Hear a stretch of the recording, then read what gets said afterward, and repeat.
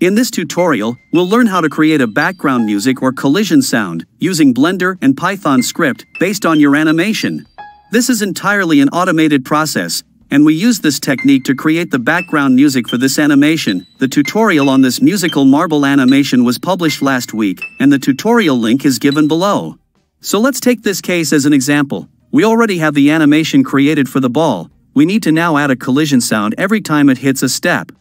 To start with, let's open Notepad and write down the frame numbers. These are the frames at which the ball hits the target objects, or the floor. You can play and pause the animation, or just go frame by frame to identify the collision frame numbers. Then just make a list of those frame numbers, we want to generate a sound of an appropriate pitch at each of these collision points. So get all those frame numbers from your animation, and list them somewhere like this. Now back to Blender, we have to open a text editor, from here. Then click on the New button, and paste the Python script. This script or the code is given below, in the video description. You need to first replace these frame numbers based on your animation, so you need to bring the frame numbers from your notepad, whatever you have recorded, and paste them here, within a pair of square brackets. Then we have a list for the notes, these are the frequencies at which the sound should be generated for each note, so you need to prepare this list as per your choice. These are like do, re, mi, fa, the sound scales used by the musicians, the value of 96 will sound like and the value of 110 will sound like so this is where you can apply your creativity, and you may need some practice with this, but please ensure that the number of entries in this list matches exactly with the number of entries in this second list.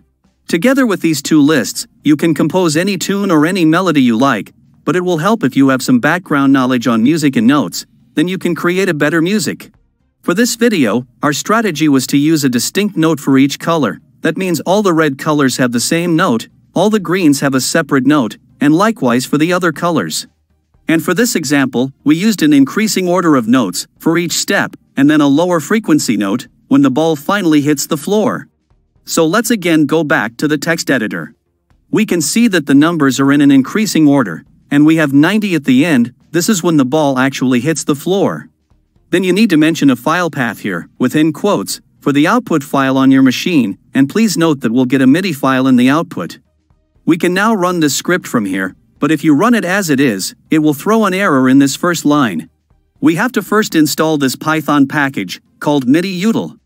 So right-click on the Blender EXE, and select the option called Run as Administrator. You must have administrative access on your machine, because we're going to install a module. Once Blender opens, let's go to the text editor, then create a new file and paste this one-time code. This code is also given below. It will install a new module into Blender called MIDI-util, but before we run this, let's open the system console from here, so that you can see the status of the installation. Now let's run this script, and then switch over to the System console to check the progress. You need an active internet connection to install this module. Once the installation is successful, we can go back to our original script and run it from here. The output file will be saved inside this location. It will produce a MIDI file, so here we can see a MIDI file generated by our script, but we need to convert it to an MP3 file before we can use it. There are many online converters, you can use any of them to convert our MIDI file into MP3. But once you download the MP3 file, you'll notice that it starts from time zero, and it sounds like this. However, in our animation, we have a delay before the ball makes the first contact with the stairs. So in order to add this delay, you may need to drag this sound clip, so that this music matches with the animation. We are using the free software called Audacity, and you can export this music from here, using this export function. Then we can use it as the background music for our animation.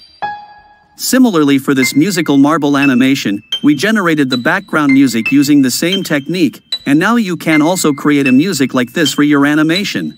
So I hope you like this tutorial, thanks for watching, and don't forget to subscribe to this channel.